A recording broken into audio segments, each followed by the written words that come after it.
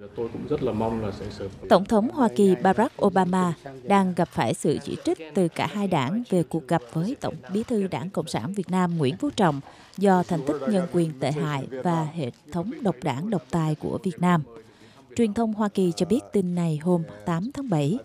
Theo đó, dân biểu Loretta Sanchez phát biểu qua một thông cáo rằng tôi thật thất vọng vì chính quyền đã chọn tiếp đón ông Nguyễn Phú Trọng là một người cổ võ cho nhân quyền tại Việt Nam Tôi không thể làm ngơ tình trạng ảm đạm về tự do báo chí và tự do ngôn luận tại đây.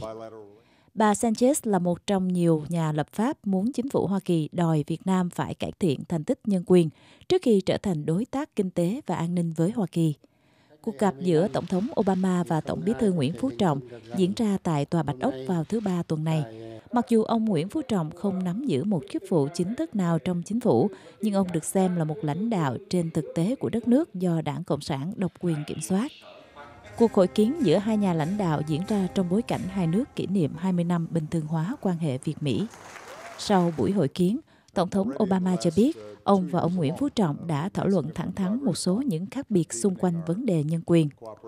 Bản thân ông Nguyễn Phú Trọng cũng cho biết cả hai đã trao đổi về những vướng mắt, trong đó có vấn đề nhân quyền, trên tinh thần thẳng thắn và xây dựng.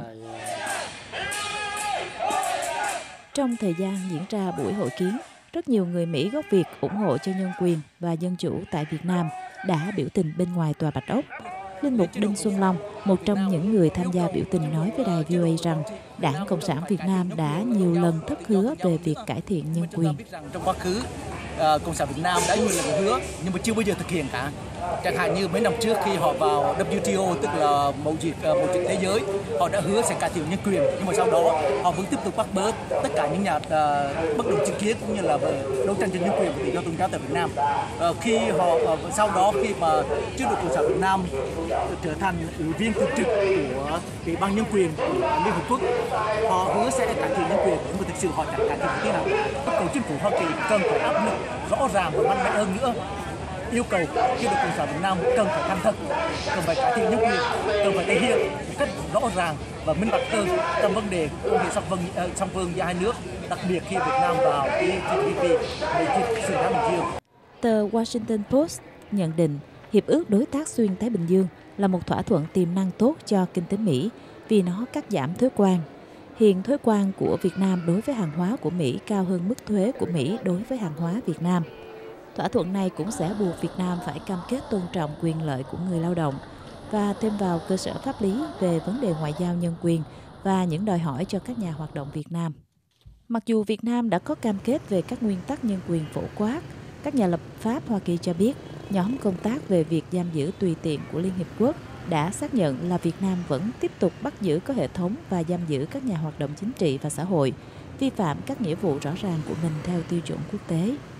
Vì lý do này, các thành viên của cả hai đảng của Quốc hội Hoa Kỳ cho rằng điều quan trọng là Hoa Kỳ phải gửi thông điệp tới Việt Nam về những hành vi vi phạm của họ. Một ngày trước khi diễn ra buổi hội kiến giữa Tổng thống Obama và ông Nguyễn Phú Trọng, chính vị dân biểu Mỹ đã cùng ký vào một bức thư gửi cho ông Obama.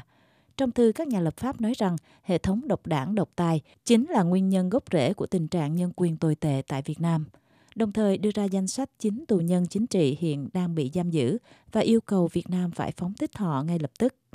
Cuộc hội kiến giữa Tổng thống Obama với Tổng bí thư Nguyễn Phú Trọng được đánh giá là một sự kiện mang đầy tính biểu tượng cho hai nước, vốn là cựu thù chiến tranh.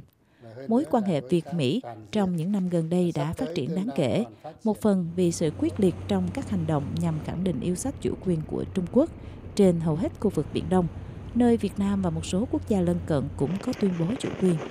Đây cũng là khu vực mà Hoa Kỳ hiện đang có một số lợi ích về hàng hải, thương mại và an ninh. Theo tờ Washington Post, hai yếu tố kinh tế và địa chính trị đã khiến cho mối quan hệ hai nước nâng lên một cấp độ và TPP là một điều kiện. Tờ báo này viết rằng chính quyền Obama và những người kế nhiệm nên sử dụng mối quan hệ gần gũi hơn này như là một công cụ để mang lại tự do hơn cả về chính trị lẫn kinh tế cho châu Á. Mặc dù Việt Nam đã phóng thích 50 trong số 160 tù nhân lương tâm trong năm 2014, nhưng đây không phải là một thay đổi nền tảng ở Hà Nội, tờ báo nhận định, mà chỉ là một nỗ lực nhằm xoa dịu những chỉ trích của Hoa Kỳ về việc cho phép Hà Nội tham gia vào TPP.